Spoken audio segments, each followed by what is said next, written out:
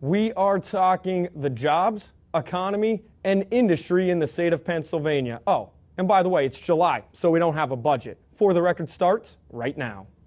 Commonwealth's attorneys and I have concluded that the NCAA sanctions were overreaching and unlawful. Someone's got to develop a product that you and I, as a consumer, are going to want to buy. The country needs a comprehensive energy Good morning and welcome to this edition of For the Record. Pleased to be joined by Kathy Manderino, the Secretary of Labor and Industry for the state of Pennsylvania. Secretary, thank you so much for being here. Andrew, pleasure to be here. You are on a, we won't call it a whirlwind tour throughout the state of Pennsylvania, but it's an important tour. You made a stop in State College. What, what did you talk about? Yeah. Well, um, the Wolf administration is very serious about the governor's vision for all of our state, and that's jobs that pay, schools that teach, and government that works. So I have been going around the state uh, talking to businesses and educators and folks who deliver employment and training across Pennsylvania, talking about what we need to get Pennsylvania's economy roaring on all uh, engines and to listen to them about what they need from state government to help support uh, growth of our Commonwealth. What do you see through throughout the state? You were in Wilkes-Barre, you were in Allentown, cities that are much different than State College with a major land grant university, but at the same time, the Wilkes-Barre area very much blue collar, like much of central Pennsylvania. How, how are they all similar and yet different? Well. Um, the, the, they, the reality of it is, yes, we all have our regional differences, but there's a lot of commonality. And what I'm hearing a lot from businesses are some really good ideas about how state government can help support them, and some concerns that seem to kind of go across the state concerns about um, our uh, skills gap. A lot of our uh, industries, particularly manufacturing, and Pennsylvania still has a lot of manufacturing, and very importantly, advanced manufacturing, the, which the governor really wants to help grow. And many of our workers in those industries are um, in their 50s and they're really looking at the pipeline of talent and saying we need to encourage younger people um, to realize that there are really good jobs, family sustaining jobs with good wages, um, and, and that require some real talent uh, all across Pennsylvania in manufacturing and in our advanced manufacturing fields. So, how do you get today's youth, and maybe it's an issue with guidance counselors in school. There was this stigma of you have to, to be something, you have to go to a four year college, you have to graduate with that degree, when oftentimes in today's economy, that four year degree, you might end up working in retail and it not paying off, and now you're loaded with student debt. How, debt. How do you get the student to think, I'm just going to go to a two year tech school and I'm going to come out with a high paying job? Well, and, and those jobs are absolutely there. Um, I've been to a number of our career and technical schools. Uh, they are graduating uh, folks with either certificates or associate degrees, and those folks are entering into jobs that are paying forty and fifty and sixty thousand dollars as their first job. But the reality of it is, I think Andrew is we all owe, owe a responsibility to our young people, and it really starts with with our families you know, just recognizing, encouraging young people and what their talents are and making, helping them understand and helping ourselves understand that there's just not one track to success these days. You know, our grandparents' generation, most people got an eighth grade education, and my parents' generation, most people got a high school education, and my generation, most folks got a college education.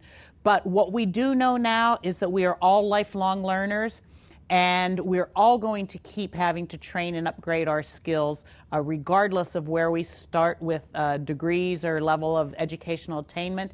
But what is missing, I think, is for many young people to realize that you can be bright, you can be smart, and if you're not necessarily uh, happy being a book learner, there's a lot of hands on learning opportunities out there in our career and technical uh, trade schools, and that those are viable paths to good paying jobs. Do you think the career guide that for the first time in, I believe it's been printed 25 or 28 years, now has a middle school edition and a high school edition, that now it's kind of getting the kids while they're younger and opening those doors up? I, I, think we absolutely have learned that you have to get the kids while, while they're younger. And that's why in the Wolf administration, Governor Wolf is very, I mean, he has married those principles, jobs that pay, schools that teach, uh, together purposefully.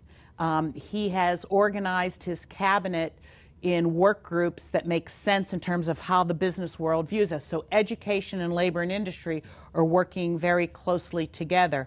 Um, we recognize that we, to meet employers' needs, it starts back with the education system. And I think you're right, the educational uh, system is realizing um, career preparation doesn't start in your senior year of high school, and it doesn't even start in your freshman year in high school. It starts very early.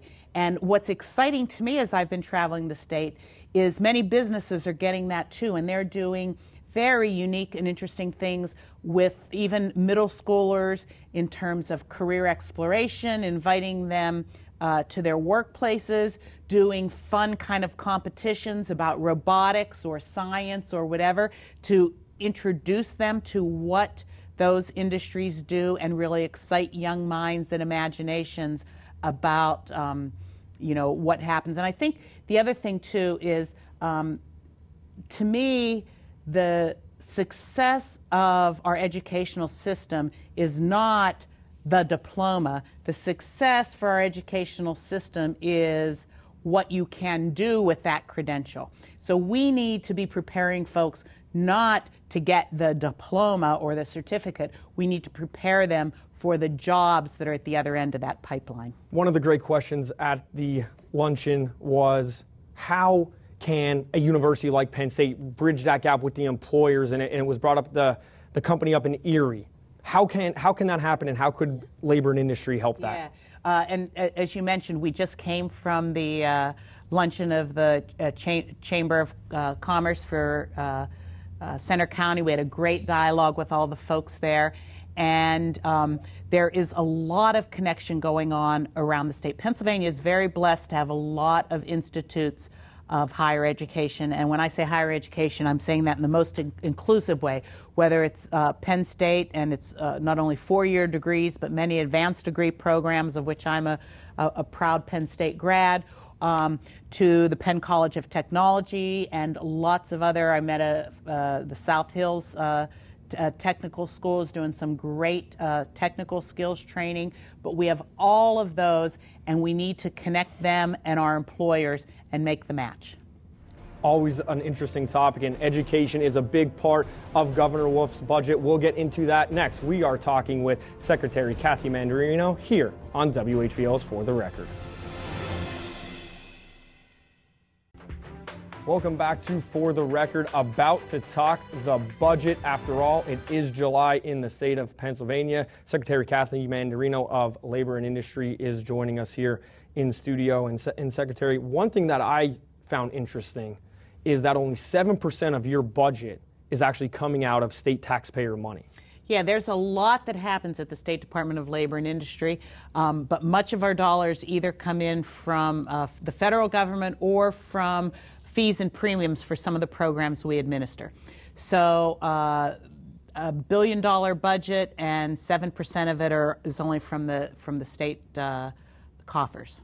Much of what we heard you talk about was the education. Obviously, education played a major role in the election of Governor Wolf.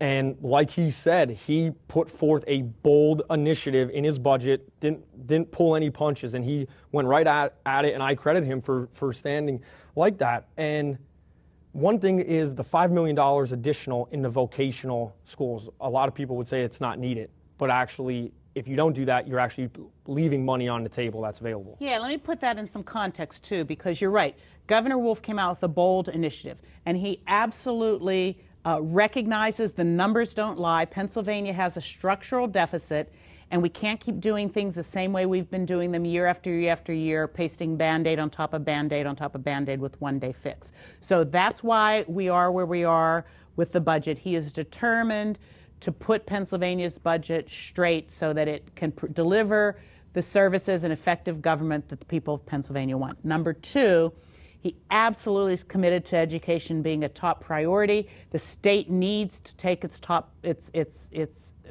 uh, mandate seriously that it is the primary funder of education, and he wants to get that right too.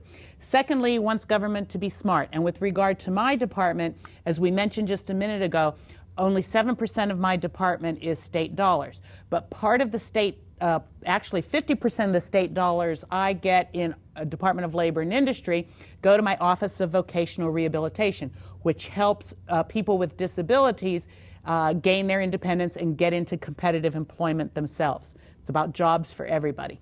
And at OVR, uh, when Office of Vocational Rehabilitation, when the state puts money on the table, they f- draw down federal dollars. We were not putting all the money on the table we needed to get all the available federal do- dollars. The governor's proposing an additional 5 million state spending at OVR brings in another 17 million federal, 23 uh, million more at o- Office of Vocational Rehabilitation allows to serve a lot of people on the waiting lists at OVR for services. Is education, is that going to be the end all be all with the budget in terms of the, the budget that the Republicans just passed and that Governor Wolf veto? Is there going to have to be some give and take on both sides of that to actually get it done? Well, you know, it's again, the governor wants a budget that gets Pennsylvania on track. And he doesn't believe you'll get a budget that gets Pennsylvania on tra- track if you're not serious about solving the structural deficit problem that we have. And one time fixes don't work. So that all sides are going to have to come together and figure out where you get sustaining revenue that are not one time fixes, not one time band aids. And secondly, the biggest part of his agenda is to make sure that we're adequately funding education in Pennsylvania. And if you don't plug uh, the structural deficit problems in a way that are sustaining, you will never be able to address the educational needs of Pennsylvanians. To plug those problems, you obviously do need a tax base which does rely on businesses. In February, Governor of Florida, Rick Scott, said he was coming up here to take our jobs away. That's kind of a shot across the bow at Pennsylvanians. It's a shot across the bow at our, our government. How did Governor Wolf respond to that, Well, and, and what are you doing? That's pretty rhetoric, but but let's be real. The governor's budget proposal um, actually had a lot of good news in there for Pennsylvania businesses. Um, he is talking about totally getting rid of the uh, uh, corporate net income tax, and that's been something that's been on the agenda for years and years and years, and it's something that's made an unlevel playing field uh, for for Pennsylvania businesses, and something that has uh, detracted from bigger companies coming to Pennsylvania. And that's a number one thing that's kind of a shot right back at the bow of those uh, who, who think that, that they can steal uh, our jobs. The reality of it is, is we have a really good workforce here in Pennsylvania. We need to take advantage of that workforce. We need the job opportunities and the training opportunities here for Pennsylvanians. We not only want Pennsylvania to be a state where we are uh, maintaining our, our, our um, a workforce for our current um, and job base for our current citizens. We want our young people to stay, and quite frankly, we want to be a net importer of jobs in Pennsylvania and really grow this state with the uh, great businesses, the great universities we have, and the great talent that we have in our Commonwealth. Do you think that maybe our job market has to diversify a little bit? And what I get at is there's over 1.2 million jobs in the state in just two industries, education and healthcare. Do you think maybe we have to somehow kind of swing back into manufacturing a little bit more than maybe the service economy that we're kind of stuck in right now? Yeah, I, and I'm not quite sure. You make a really good point, and eds and meds is a very strong industry uh, for Pennsylvania, not only in central Pennsylvania here and in the southeast and in the southwest. But the reality of it is, as I've been making my tour, we have uh, still a very strong uh, manufacturing base in Pennsylvania.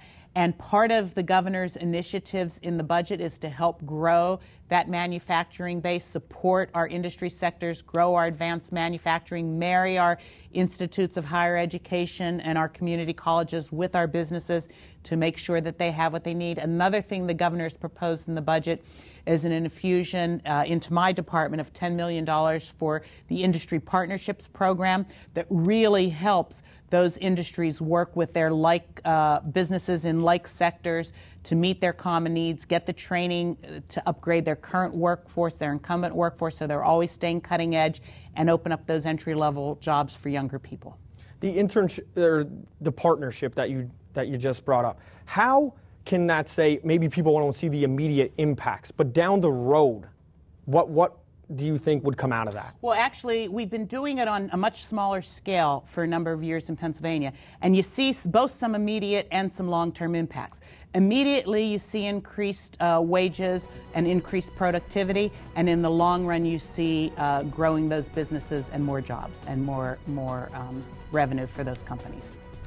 You are watching WHVL's For the Record. Back with more right after this.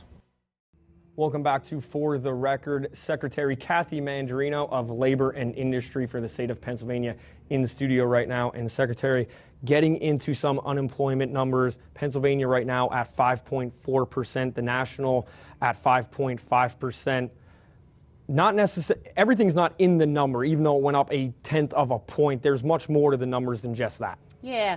Um, first of all, I think it's it's good news for the nation that the unemployment rate is is coming down, and Pennsylvania's too. We're kind of trending.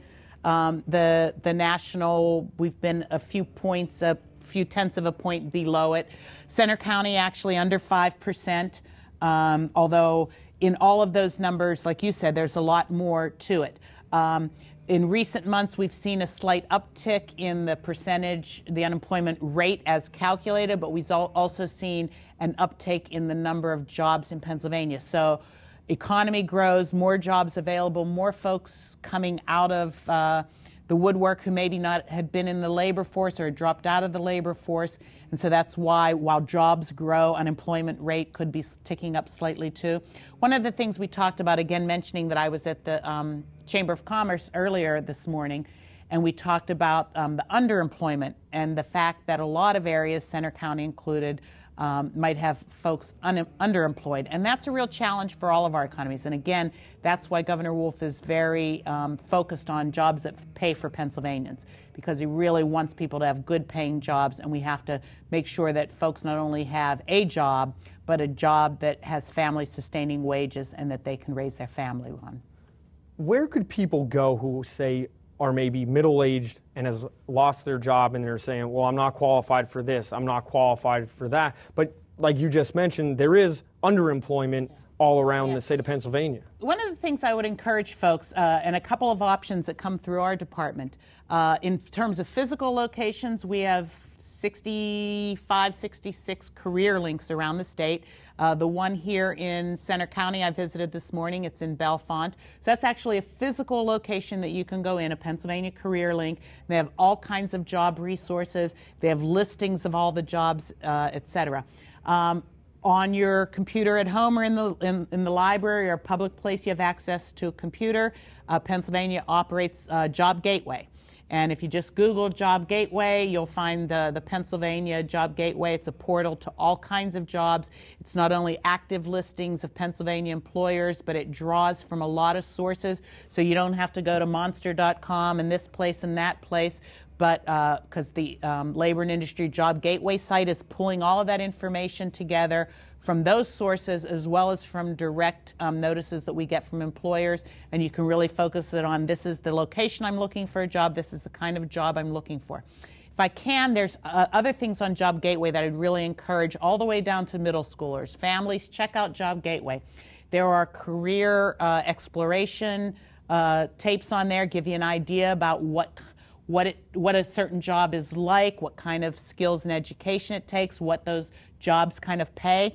And that leads us right into, Andrew, what we had been talking mm-hmm. about a little bit earlier about what are those careers out there? And a lot of times people don't realize the kinds of careers out there where you can make uh, good money and that uh, you need to be talented, you need to have skills, you need to study hard when you're in school, but you don't necessarily need to go to four year college for some really good paying jobs in uh, industry and manufacturing and technology. And one of those jobs is truck driving. And maybe people, young people, think there's a stigma to it, but the world needs truck drivers. Freight industry is up 4.7% this year over last year's number. They all can't come on Boeing 747s and get dropped off at your nearest Walmart. And even the, the fracking industry, the natural gas industry, they need, they need truckers as well.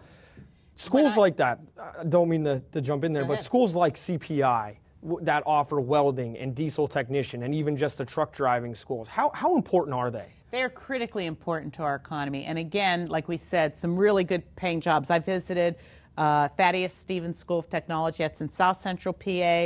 Um, I'm going to get up to the. I've been in the past to the um, uh, the uh, Penn um, Tech up here, and uh, they are preparing folks for real jobs and employers standing in line waiting for those jobs.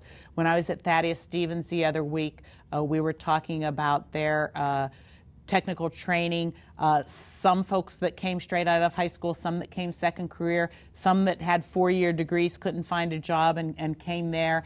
And after getting their technical career, they have four and five job offers from employers at good paying wages. So, um, manufacturing today, I mean, I've, I've toured recently uh, uh, medical equipment manufacturing uh, plants to dog food manufacturing plants. And you know what? They're not yesterday's factories either.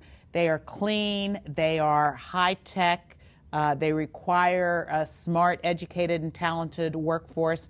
A lot of uh, need in all of those industries for the mechanical trades, and there really is a lot of opportunity for folks. And pointing them back to Job Gateway, um, young people can go on that website and really see uh, whether or not they have the interest, the aptitude, um, and see what these jobs are like. One good thing in, in the last 90 seconds is the workman's comp insurance rate. It was cut down again, uh, 5.99%, I believe, and I believe it's going to save the state $140 million. But yet, it's important for workers. The benefits are still going to be there. Yes, absolutely. The Workers' Comp Rating Bureau is an independent bureau, it's not my department.